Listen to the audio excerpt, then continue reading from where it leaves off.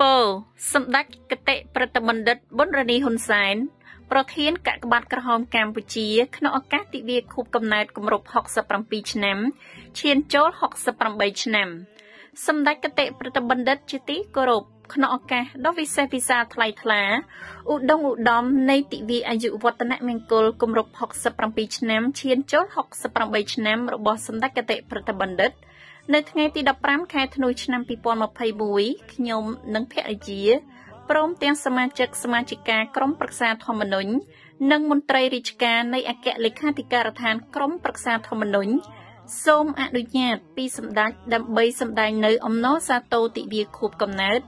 និងសូមបួងសួងដល់គុណបុណ្យព្រះរតនត្រ័យព្រមទាំងវត្ថុស័ក្តិសិទ្ធិក្នុងលោកជួយថែរក្សាប្រសិទ្ធពរសពសាធុការជូន សម្ដេចសូមប្រកបដោយជន្មាយុយឺនយូរកាយពលមមមួន បញ្ញាញាណភ្លឺថ្លានិងទទួលបានជោគជ័យគ្រប់ភារកិច្ចក្នុងឱកាសដ៏មហានិខត្តរឹកនេះយើងខ្ញុំសូមសម្ដែងនៅកតញ្ញូតាធម៌ដ៏ស្មោះស្ម័គ្រចំពោះគុណូបការៈដ៏ធំធេងរបស់សម្ដេចដែលបានបូជាកម្លាំងកាយចិត្តនិងប្រាជ្ញាស្មារតី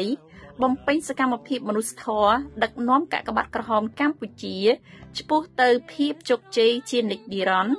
ជាពិសេសរួមចំណែកជាមួយរាជរដ្ឋាភិបាល នៃព្រះរាជាណាចក្រកម្ពុជា ជួយផ្នែកមនុស្សធម៌សង្គ្រោះប្រជាជនជួបគ្រោះមហន្តរាយនានាជួយជំរុញទប់ស្កាត់ការរីករាលដាលនៃជំងឺ Covid-19 និងលើកស្ទួយនារីឲ្យចូលរួមគ្រប់សកម្មភាពរបស់សង្គមក្នុងទិសដៅតែមួយគត់គឺបំរើឧត្តមប្រយោជន៍ជាតិនិងសុខុមាលភាពប្រជាជនទន្ទឹមនឹងនេះសម្ដេចគតិប្រតិបណ្ឌិតជាកុលធីតា ជាឧត្តមភរិយា ជាបិតាជាជីដូនដ៏ល្អប្រពៃនិងជាអ្នកដឹកនាំដ៏ឆ្នើមមួយរូបប្រកបដោយព្រំវិហារធម៌និងគុណធម៌នៃកក្បាត់ក្រហមកម្ពុជា ជាថ្មីម្ដងទៀតក្នុងនាមសមាជិកសមាជិកាក្រុមប្រឹក្សាធម្មនុញ្ញមន្ត្រីរាជការក្រមអាវ៉ាតនៃក្រុមប្រឹក្សាធម្មនុញ្ញនិងក្នុងនាមខ្ញុំព្រមទាំងភរិយា សូមបួងសួងដល់គុណបុណ្យព្រះរតនត្រ័យនិងពធស័ក្តិសិទ្ធិក្នុងលោក ប្រោះព្រំប្រទានពរជ័យសិរីមង្គលជូនសម្ដេចគតិប្រតិបណ្ឌិត និងសម្ដេចតេជោនាយករដ្ឋមន្ត្រីព្រមទាំងបុត្រាបុត្រីចៅប្រុសចៅស្រីសូមបានប្រកបដោយពុទ្ធពរទាំង4ប្រការគឺអាយុវណ្ណៈសុខៈពលៈកំបីឃ្លៀងឃ្លាតឡើយសូមសម្ដេចគតិប្រតិបណ្ឌិត មេត្តាទទួលនៅគិរវកិច្ចដ៏ខ្ពង់ខ្ពស់ពីខ្ញុំ